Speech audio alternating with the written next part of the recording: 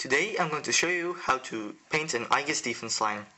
I'll be talking you through it step by step on how you have to paint it to achieve this result. Okay, so let's get started. So you start your Aegis defense line by uh, undercoating it with Chaos Black. And I use the Chaos Black spray can. And as you see it has uh, nice undercoats. Next up is the, are the base coats and because we will dry brush this concrete section uh, we will be painting that first because after the dry brush you will have paint on the sides and be quite useless to paint the sides already if you are going to get them dirty. Um, so for the side I'm going to use uh, Granite. It's one of the old Citadel colors but I still have them so why not use them. So you paint that on all these concrete sections, both inside as outside. Uh, I'm not going to bore, bore you with those, but uh, I'll have them done by the end of this quick take. So here you have it. I've done all the concrete sections with Charadon Granite, uh, even these bottom sections. It's uh, important not to forget those. Um, so, while this is drying, I'll tell you what next I'm going to use. I'm going to use uh, Longbeard Grey. A dry paint. As you can see it has weird little texture. But it works really well with um, for dry brushing. I'll also be using the dry brush, medium dry brush. Oh yeah, um, for the other one I use this uh, other little painter's brush because uh, it helps to um, paint large areas because it's bigger and it's also hard enough because as you can see there are sometimes these little um, holes and crevices that you have to go into and with um, I paint quite hard on that. So if you would nor uh, use a normal brush it would not be very good for the brush. Uh, so yeah when it's dry I'm going to start dry brushing it um, so after waiting for it to dry and after a recharge of the battery because it was quite dead, um, we're ready to start dry brushing. So I'm going to use um, Longbeard Grey and yeah. So for dry brushing you um, say this is already too much paint. You have to put off most of the paint until you don't have much paint left. And then you start light. Oh, see, too much paint already. Um, oh, what's this? Um, so yeah, I sometimes do it off my thumb just for ease. You start going over an area lightly, like this. You won't see any immediate effects, although you do see it on camera. It's not that much in uh, real life. Uh, yeah, so you do this quite some, yeah, too much again, quite often. Um, yeah, not gonna really bore you again with whole thing, but uh, this is sort of how you should do it. Uh, if you're a better dry brusher, let me uh, know in the comments how to start dry brushing better, because I think I might need it in future Let's Paints. But uh, well, um, yeah, see on film it looks quite good. Should start playing on film might have better models to uh, look at. Well, um, so yeah, as you can see, my thumb's getting quite white with all the dry brushing. I uh, did some testing while the battery was recharging, but uh, my dry brushing is still not good enough. Well, yeah, good enough for scenery anyhow. That's a good thing if you start painting scenery. You don't have to have as high standards as with the normal models you're gonna play with. Yeah, so yeah, you get the principle. I'll do it on the whole model and be with you back in a sec. So after the dry brush disaster, I've tried to save the model. My dry brushing, it's all quite a bit we'll need to correct that afterwards but yeah So as you can see, the dry brushing has left quite some marks on the other areas of the model, areas it shouldn't be. So it's good that we didn't paint that yet. And so, um, yeah, my actual overall plan for the model is to have, yeah, the concrete, and then all the edges of the model, the metal metal bits, I will paint in black, and uh, the metal bits as well will be very dark. So overall, the model will be quite dark, and um, yeah, it won't very much um, take the attention away of your other models in uh, the game, which is actually not bad for scenery. It should be there and should be nice, but it shouldn't take all the attention. Um, and to make it also stand out a tiny bit, the eagle will be uh, in a different color. So now we'll tidy up the uh, all the areas by painting them in black, even the bits that shouldn't be in black, but that's because um, they need to have a good solid background to uh, have the other paints on because right now it's a bit um, dusty and all that as you can see or not see in the video I don't think I can show it. No we can't see it.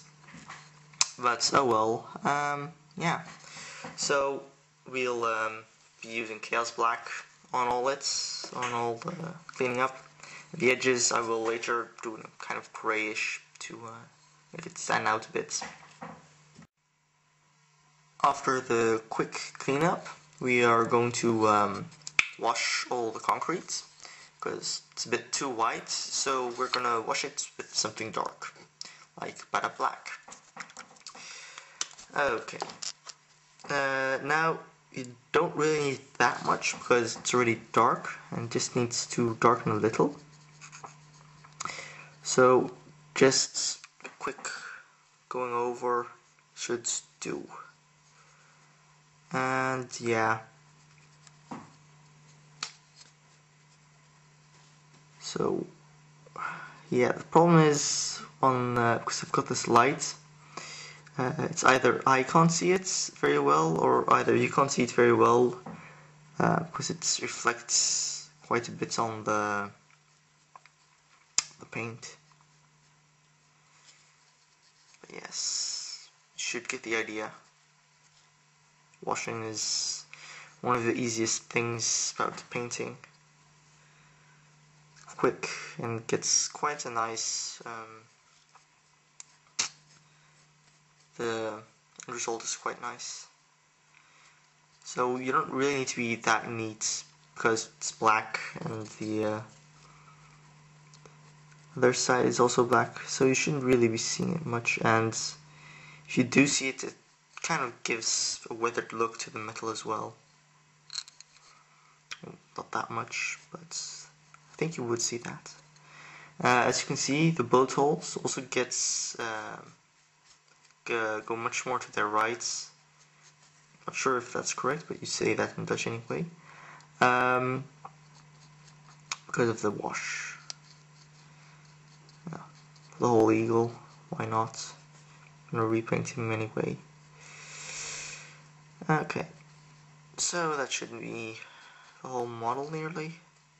So yeah, if you do get uh, quite some wash over it, you might as well wash it all. Because it might give a little effect, not much, but yeah. If it is little, you might as well um, do the whole thing. Cause like that, it's not that much leave it like that but otherwise yeah now uh, makes the whole thing look come together a bit more. Um, okay so that should be all the sides. So uh, because we did the concrete we can't work on it quite yet because I want to give maybe one more dry brush. Who knows? We'll see how it looks like. Um, but now we'll do uh, the metal, the black metal. See, um, give it some edge highlights. Okay, so until then. For this highlighting we shall be using Mechanicus Standard Gray and we shall do edge highlighting because it gets a cleaner uh, edge highlights. So it gives a fine line and sometimes you can see that's not enough. So use either a little bit more paints or you um, use your points to do it. It gives you a little bit more control. So you have a little less the fine uh, crispness of the edge highlights but yeah like I said you have more control. So you have uh, a bit more uh, intel on how the highlight looks like. Or if it's in situations like this it's very hard to do the edge highlighting because you'd come against other bits and then it's better to um, use your points. So you should try and do this for the whole model with the edge highlights all in the general same direction. So all here are going to be upwards and a bit more to the right. So uh, when it's finished, uh, you'll see the result. Alright, all the edges have done have been done in gray and any faults that you could have made uh, you can always correct them with Chaos Black because the undercoat is Chaos Black as well, so um, doesn't really stand out if you did. For instance, here I made a mistake, and as you can see, well, actually as you can't see, uh, there it looks like as if there was no mistake. And yeah, uh, as you can also see, I did the eagle in gray as well because we are going to make it white, and because it can't be that bright white because it's still terrain. We're going to make the white so that the, it has gray uh, beneath it. So for the white of the eagle, we're going to use Astronomican gray. So it has this, yeah, it has that color and it goes well with the gray. So yeah.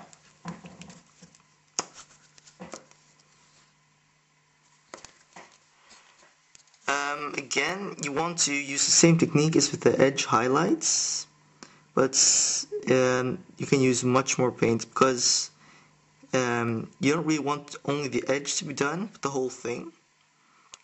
But to make it look a bit more realistic, um, you can try to make it um, use edge paints.